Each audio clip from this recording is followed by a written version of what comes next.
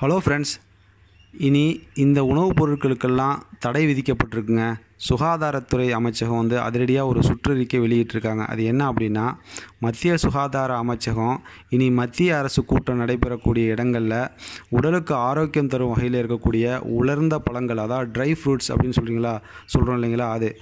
அதாவது கடலை பாதாம் பேரிச்சம்பழம் முந்திரி திராட்சை வால்நட் இந்த மாதிரி ட்ரை ஃப்ரூட்ஸ் இருக்குது இல்லைங்களா? நட்ஸு இதுதான் தரணும். இந்த மாதிரி பாக்கெட்டில் அடைச்சிருக்கக்கூடிய பிஸ்கெட்டு இந்த மாதிரி அந்த மாதிரி விஷயங்கள்லாம் தரக்கூடாது. இது உடலுக்கு சுகாதாரமற்ற பொருள் அப்படின்னு சொல்லி சுற்றறிக்கை விட்டிருக்காங்க. இது அரசு அலுவலகங்களில் இருக்கக்கூடிய கேன்டீன்களுக்கும் இனிமேல் இந்த விஷயம் பொருந்தும் அப்படின்னு சொல்லப்பட்டிருக்குங்க. இது எதை முன் வச்சு அப்படின்னாக்க பிளாஸ்டிக் பாட்டிலில் அடைக்கப்பட்டிருக்கக்கூடிய குடிநீர் பயன்படுத்துவது இனி குறைக்க வேண்டும். அதே போல் பிளாஸ்டிக் ப பயன்பாட்டை குறைக்க வேணும் அப்படிங்கிற முன்னோக்கோடு இதை செயல்படுத்தப்படுது அப்படின்னு சொல்லப்பட்டிருக்குங்க. பாக்கெட்டில் அடைக்கப்பட்டு வரும் பிளாஸ்டிக்கில் அதிகப்படியான சர்க்கரை மைதா பயன்படுத்துவதற்கான உப்புகள் போன்ற உடலுக்கு தீங்கு விளைவிக்கும் பொருட்கள் சேர்க்கப்படுது. இதன் காரணமாக ஆரோக்கியமாக இருக்காது.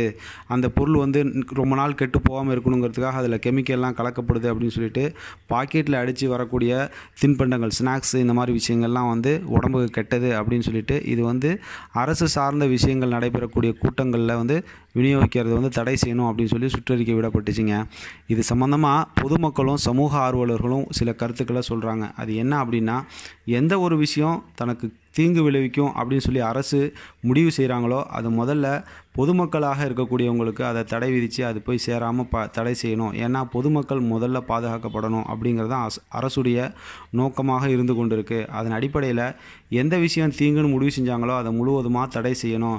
அப்படி இருக்கக்கூடிய விஷயங்களில் நிறையா விஷயங்கள் இருக்குது மது இந்த மாதிரி நிறைய விஷயங்கள் சாராயம் இந்த மாதிரி விஷயங்கள்லாம் தடை செய்யணும் அப்படின்னு சொல்லிட்டு சொல்கிறாங்க இது வந்து பொதுமக்கள் வந்து அரசாங்க இடத்துல முன்வைக்கக்கூடிய கருத்தாக இருந்து கொண்டு இருக்குது இதை அரசாங்கம் எந்த அளவுக்கு செயல்படுத்தி பொதுமக்களை பாதுகாப்பாங்க அப்படிங்கிறது வரக்கூடிய காலங்களில் பார்க்கலாங்க மேலும் இந்த தகவல் சம்மந்தமாக உங்களுடைய மேலான நல்ல கருத்துக்களை கமெண்ட் பாக்ஸில் போஸ்ட் பண்ணுங்கள் ஏன் அப்படின்னா நம்மளுடைய கருத்துக்கள் எந்த அளவுக்கு சரியான முறையில் பகிர்ந்து அது அரசிடத்தில் முன்வைக்கப்படுமோ நிச்சயம் நம்மளுடைய கோரிக்கை கோரிக்கைகள் வந்து நிறைவேற்றப்படும்.